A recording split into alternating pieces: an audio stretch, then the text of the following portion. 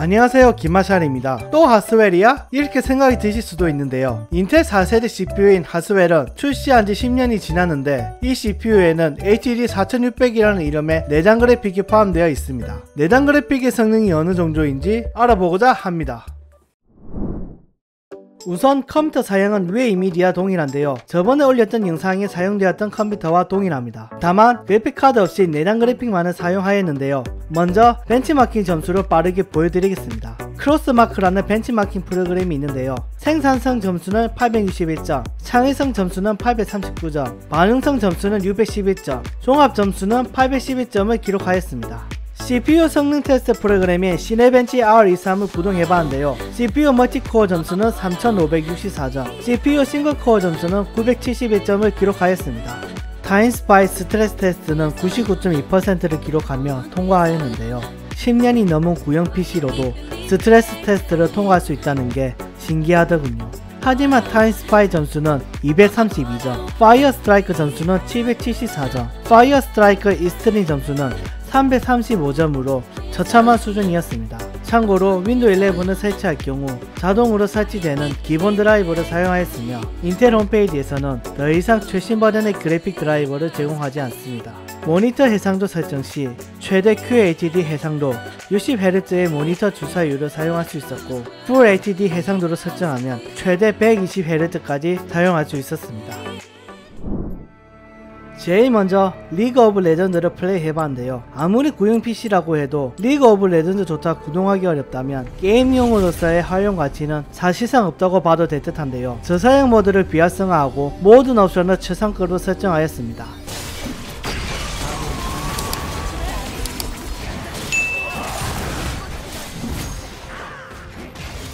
QHD 해상도의 모든 옵션을 최상급으로 할 경우 혼잡한 상황에서는 약 30프레임 정도로 낮게 나오기도 하지만 평상시에는 약 40에서 50프레임 정도로 잘 돌아가는 모습을 볼 수 있었습니다.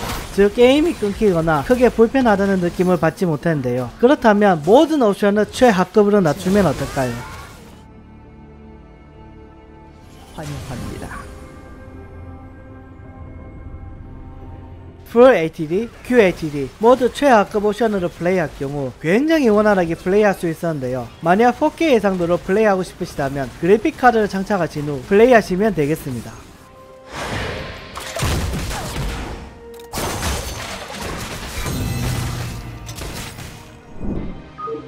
StarCraft는 아무래도 빼놓을 수가 없는데요. 스타크래프트 1 Remaster 정도는 충분히 잘 돌아갑니다.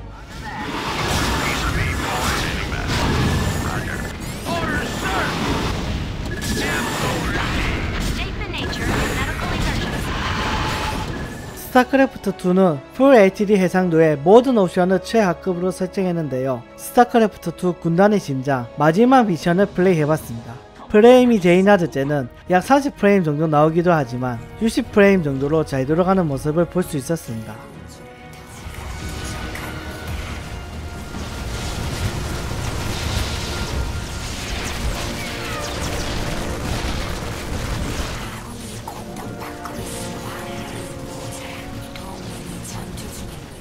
Overwatch 2는 Full HD 해상도의 모든 옵션을 최하급으로 설정했는데요. 도저히 정상적인 플레이가 불가능한 수준이었습니다. 꽉 다물고 해봐라. 720p 해상도 최하급 옵션으로 설정할 경우 약 3, 40프레임 정도로 원활하게 플레이할 수 있었습니다.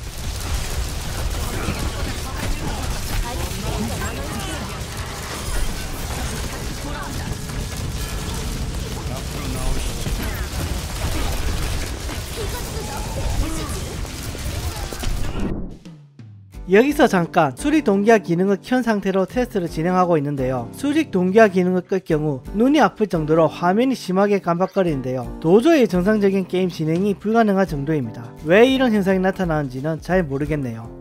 Diablo 2 Resurrection을 실행하면 그래픽 드라이버를 최신 버전으로 업데이트하라는 메시지가 뜨는데요. 확인 버튼을 누르면 게임이 실행되는 듯 하다가 튕겨버리더군요. 즉 게임을 아예 실행할 수 없었습니다. KartRider Drift의 경우 게임 실행은 가능하지만 옵션 여부에 상관없이 quick matching 버튼을 누르면 무조건 튕기더군요. 그럼 app player로 KartRider를 실행할 수 있을까요? 안타깝게도 에러 메시지가 뜨면서 실행이 안 되는데요. KartRider Rush Plus 역시 실행할 수 없었습니다. Diablo Immortal은 사실 모바일 게임이지만 개발사인 Blizzard에서는 PC 버전 역시 제공하고 있는데요. PC 버전으로 로그인 한 후 최하급 옵션으로 플레이해봤습니다. QHD 해상도에서는 60프레임 근처도 가지는 못했지만 약 30프레임 정도로 원활하게 플레이할 수 있었는데요.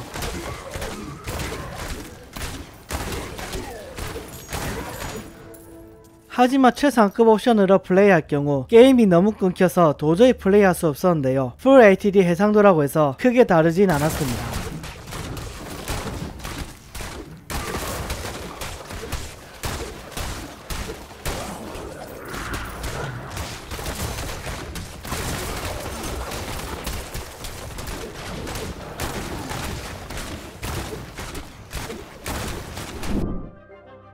원신 역시 모바일 버전으로 나왔지만 PC 버전 역시 존재하는데요. 모든 그래픽 옵션을 최하급으로 낮춘 상태에서 플레이해봤습니다. QHD 해상도에서는 약 10프레임 정도로 썩 좋진 않았는데요. 그나마 720배 해상도로 낮출 경우 잘 돌아가는 모습을 볼 수 있었습니다.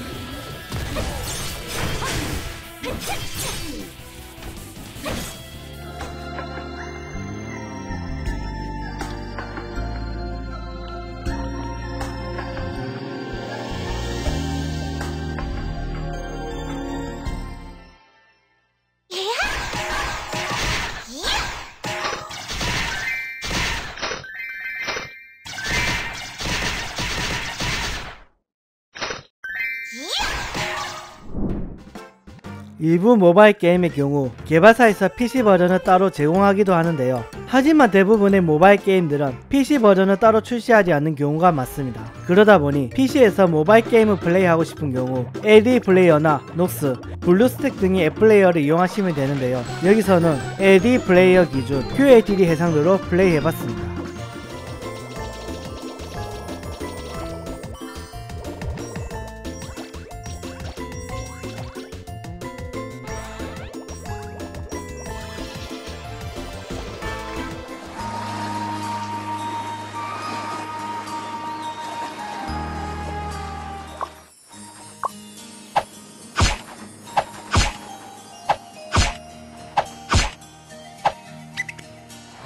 때려냈습니다. 추가 득점 찬스에 NC 다이노스 5번 타자 박민우 선수입니다. 때려냅니다. 좌측에 안타입니다. 펜스까지 흘러갑니다. 홈으로 옵니다. NC 다이노스 40홈런 40도루를 완성한 유일한 타자 아 파울입니다. 맞습니다. 수비수가 공을 따라가는데 외야수 사이를 완전히 갈랐습니다. 안타 이 선수 치는 거 보니까 아웃 아웃입니다.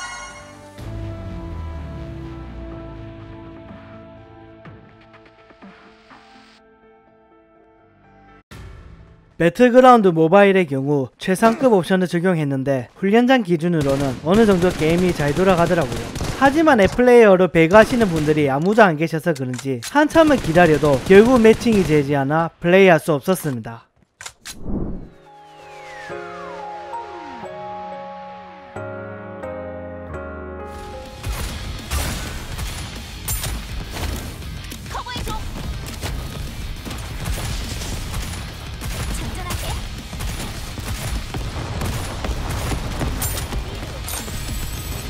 메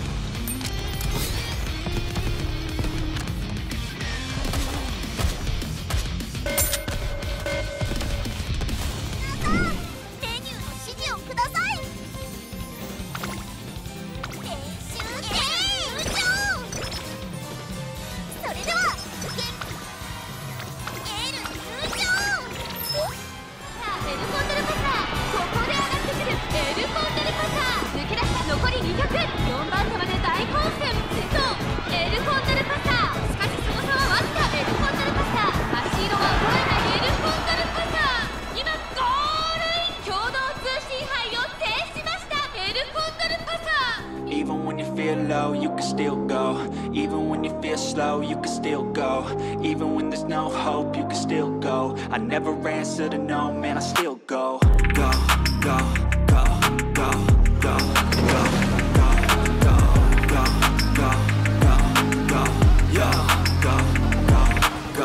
Hustle hard, hustle every single day I'll be making moves till I'm buried in my grave To the system, I don't wanna be a slave. I've been doing shit my way, for the highway. And in the driveway is a nice way. It's a grind through the climb, I invite. 지금까지 테스트한 게임들의 결과를 정리해봤는데요. 총 21개 게임을 직접 설치하고 플레이해봤습니다. 이 수많은 게임들을 일일이 테스트하느라고 죽는 줄 알았습니다. PC를 사무용으로 사용하시거나 게임을 잘 하지 않으시는 분들은 대부분 내장 그래픽을 사용하시는 경우가 많은데요. 출시한 지 10년이 넘은 하스웰 CPU의 경우 내장 그래픽으로는 요즘 게임을 구동하기 힘든 모습을 볼 수 있었습니다. 그나마 리그 오브 레전드 정도는 충분히 돌아가는데 모바일 게임이라고 해서 모든 게임이 잘 돌아가는 건 아니더군요. 인텔 HD 4600 내장 그래픽의 성능이 어떤지 궁금하셨던 분들에게 이 영상이 도움이 되었으면 좋겠습니다. 영상 재미있게 보셨다면 구독, 좋아요 부탁드립니다. 그럼 다음 영상으로 찾아뵙겠습니다. 감사합니다.